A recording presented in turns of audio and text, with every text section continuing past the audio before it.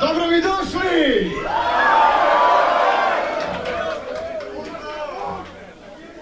Evo, trebali smo da budemo na polju.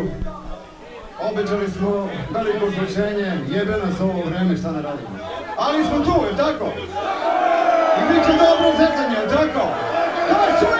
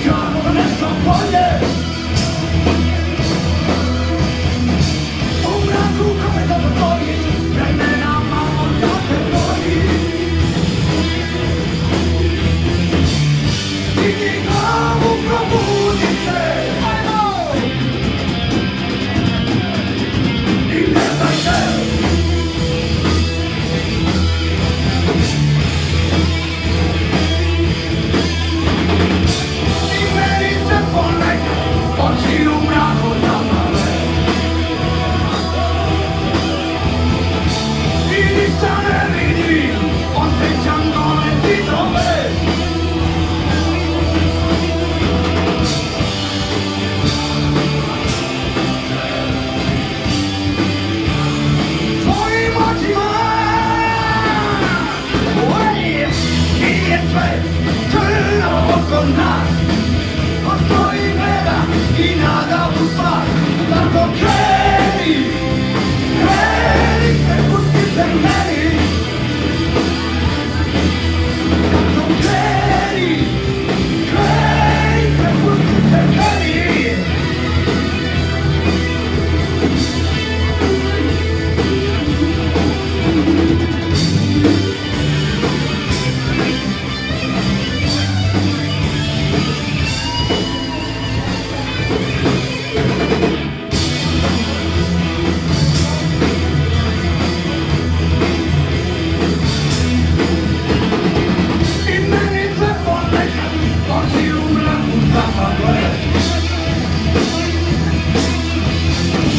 Fiesta de mi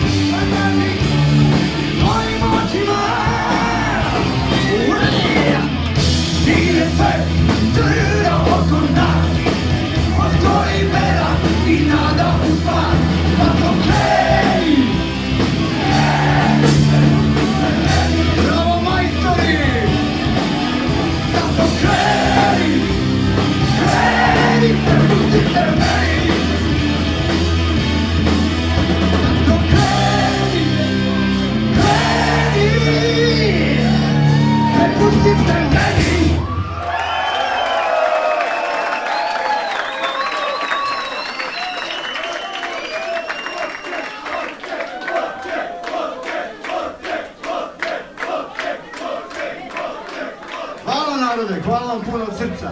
Volim vas kraljevski apartman. Naravno, ja vas volim najviše.